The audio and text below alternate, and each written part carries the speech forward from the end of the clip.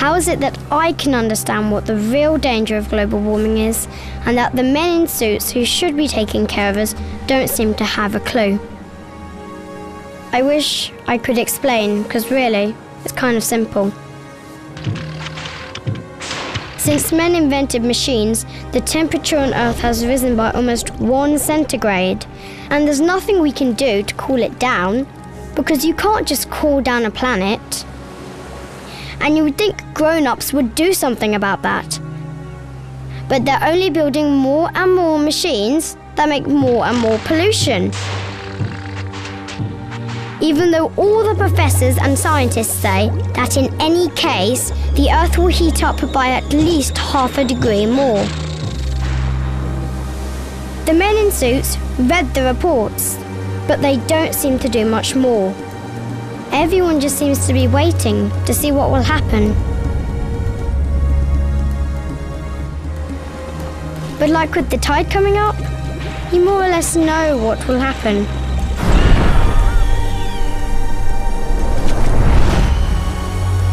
So many people are going to have to flee, leave their homes. There's going to be misery, wars, not enough water or too much, and nature totally off balance. Well, the men in suits have read the reports, but somehow they still don't seem to understand.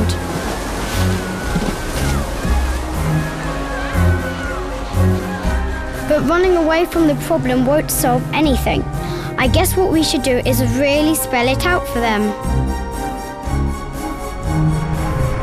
Look, so the Earth is already more than one degree warmer.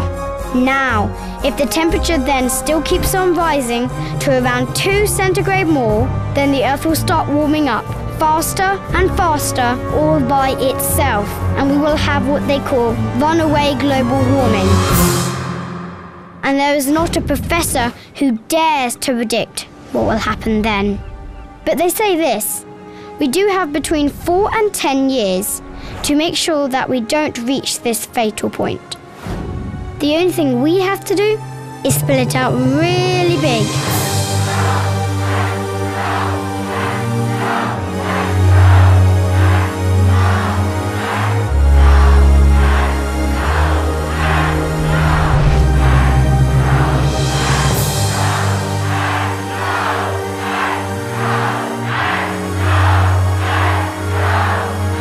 And if they give you that stupid smile,